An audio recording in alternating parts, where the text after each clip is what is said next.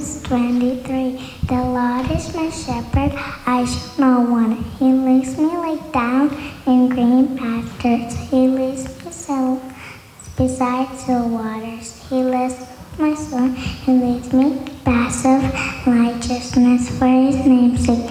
Even though I walk through the valley of the shadow of the dead, I will not fear. They comfort me. They prepare a table before me in the presence of my enemies.